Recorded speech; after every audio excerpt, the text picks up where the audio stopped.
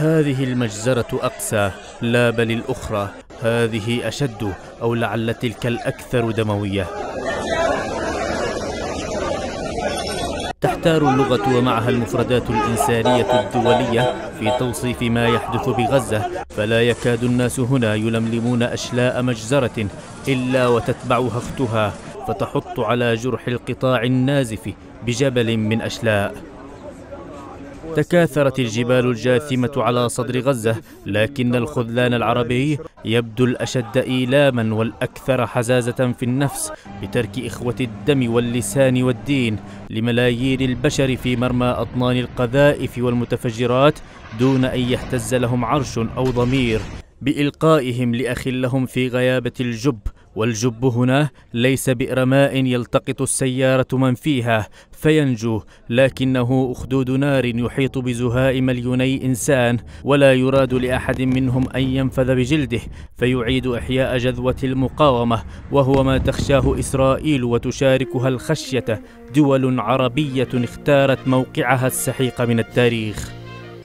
تحج أمريكا والغرب إلى إسرائيل كل ليلة وهي بذلك لا تكتفي بإعلان الدعم المطلق للاحتلال وجرائمه المتتابعة فترسل له السلاح قوافل والجند الوفا وتتوسل له الدعم الاقتصادي وهو المحاصر لا المحاصر. فيما العرب مكتفون بالشجب والتنديد وهم عاجزون عن إدخال شاحنة مساعدات إلى غزة المحاصرة وإن كانت تحمل أكفانا وأغذية تالفة.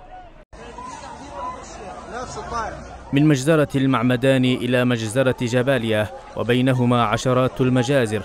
يتعمد الاحتلال استهداف المناطق المكتظة بالسكان ويستهدف المدارس والمستشفيات بغطاء أمريكي لا ينتهي حيث تزامنت إحداها مع وجود بايدن في تل أبيب في مرافقة الأخرى لقاءات وزير خارجيته مع قيادة الاحتلال وزيارته للأردن. لا يكاد يوم يمضي إلا وترتكب إسرائيل فيه أكثر من مجزرة غير أن الأنظمة تستكثر تقديم ما تصفه بقمة عربية فتبقيها على موعدها وكأنها تنتظر أن تأكل النار غزة وينتهي الصداع غير مدركة أن نار الاحتلال تصل إلى ما هو أبعد من فلسطين أقرب إلى بلاد العرب دون استثناء.